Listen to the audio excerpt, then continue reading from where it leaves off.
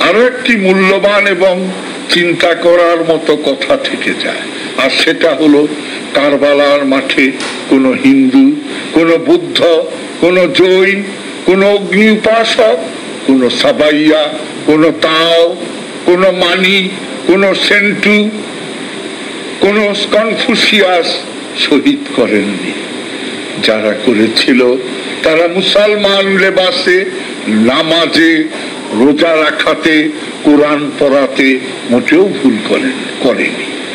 ভুল করেনি মুসলমান নাম ধারণ করে মহানবীর আওলাদদের শহীদ করতে।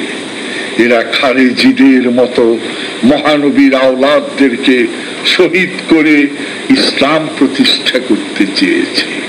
তারই পরিণাম কি আজকের মুসলমানদের রেচে গোবরের অবস্থা নয়? আমরা কোথায় এসে দাঁড়িয়েছি, সেটা কি একবারও ভেবে দেখতে পেরেছি? ইসলামের জন্মলগ্নের ইতিহাসের উজ্জ্বলতম দিনগুলোর মানদণ্ডে কোথায় কোন পতনের বিন্দুতে দাঁড়িয়ে দাঁড়িয়েছি, সেটা কি একবারের তরেও ভেবে দেখব না?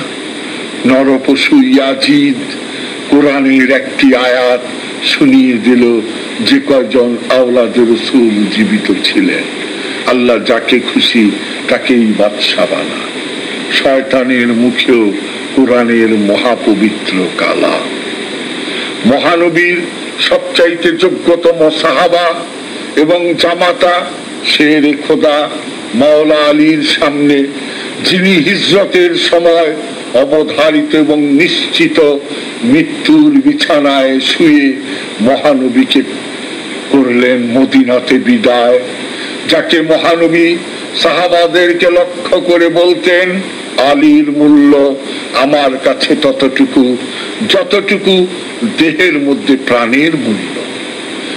আমি যার মওলা, আলীও তার মওলা। আমি এবং আলী একই নূরের দুইটি টুকরো।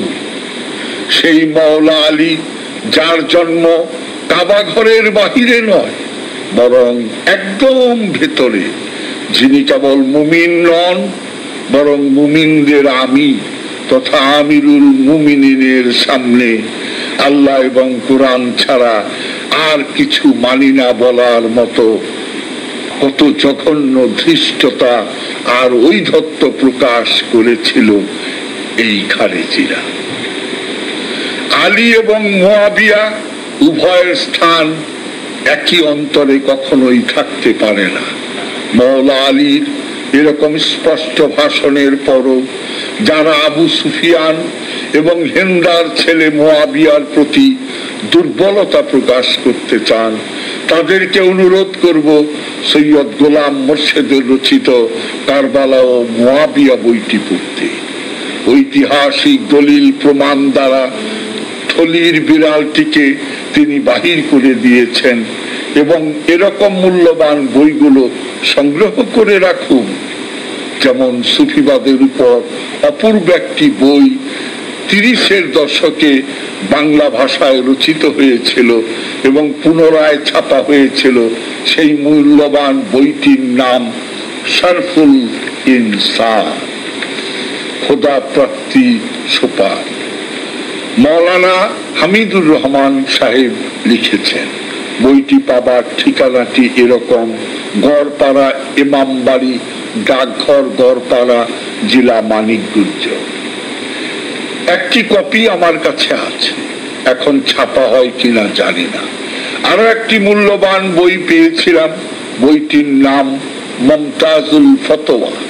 লেখকের নাম মনে নেই, তবে রেমন পাবলিশার ছত্রিশ নম্বর বাংলা বাজারে পাওয়া যেতে পারে।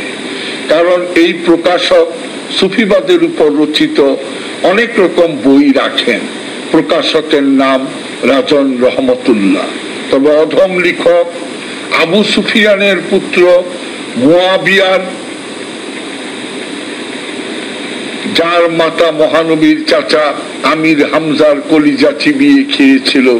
সেই ডাইনি হেন্দা পিতা মাতা দুইটি গাছের নমুনাটি খেয়াল করুন এবং এরকম গাছে কীরকম বাক্কা ফলটি ধরেছে।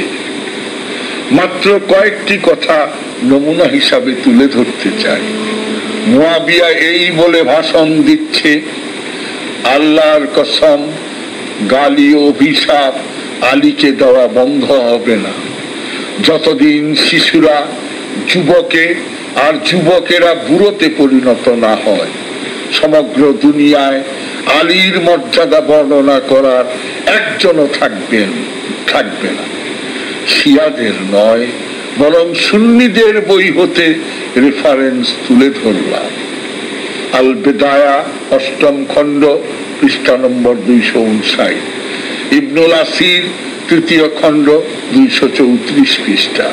আর তাবারি চতুর্থ খণ্ড পৃষ্ঠা একশো অষ্টাশি। রৌফুল হেজাব পৃষ্ঠা চুরানব্বই।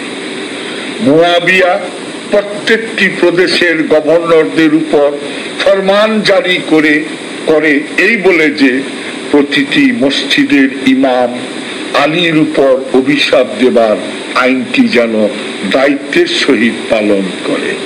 মুসলিম শরীফ আলীর অধ্যায়ের দ্রষ্টব্য। মসজিদে নবমীতে মহানবীর মহাপবিত্র রওজার নিকটে দাঁড়িয়ে আওলাদের রসুলদের কে অকথ্য ভাষায় গালি ও অভিশাপ দেওয়া হতো। আওলাদের রসুলদের ভক্তরা কাঁদতেন, কারণ খোদ্বাসনাটি ছিল বাধ্যতামূলক। আত্মাবারি ইবনুল আসির আল বেতায়া উমর ইবনুল আজিজ যখন এই জঘন্য প্রথাটি বন্ধ করে দিলেন, তখন উমাইয়াদের অনুসারী বহু আলেম, উলামা এবং মুফতিরা দুঃখ করে বলেছিল, উমর ইবনুল আজিজ আজিজ সুন্নত তরক করে দিলেন। হায় হায়, তিনি সুন্নত তরক করে দিলেন। তারিখে আবুল ফেদা